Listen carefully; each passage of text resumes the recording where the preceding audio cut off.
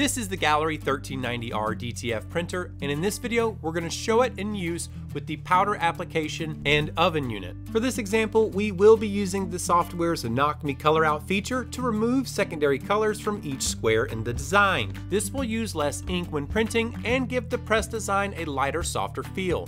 Before we print, we just want to feed the film through the powder chamber and oven and tape it onto the take-up reel.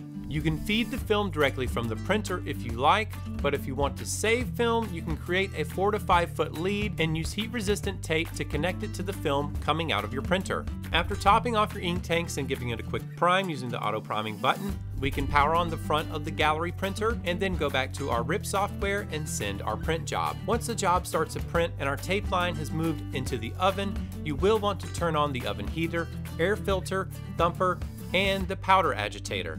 The powder will pull the film down and once it reaches the sensors, it will activate the take-up reel until it's no longer blocking that sensor. You will not need to leave the powder agitator on the entire time once you have a good amount on the film, you can actually let it stop until the edges start to look a little thin. The excess powder will fall down into the catcher at the bottom of the chamber. You only need to power down the thumper and the powder agitator, and then pull the catcher out from the bottom of the chamber, and then dump that excess powder back into the powder agitator. When your printer finishes printing, there will still be some materials that need to go through the powder application chamber, as well as the oven for curing.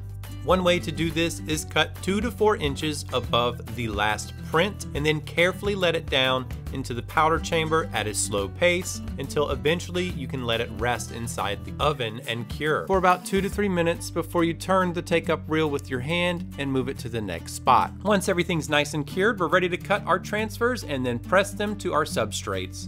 For more information, head on over to uscutter.com or contact us directly using the information shown here on your screen.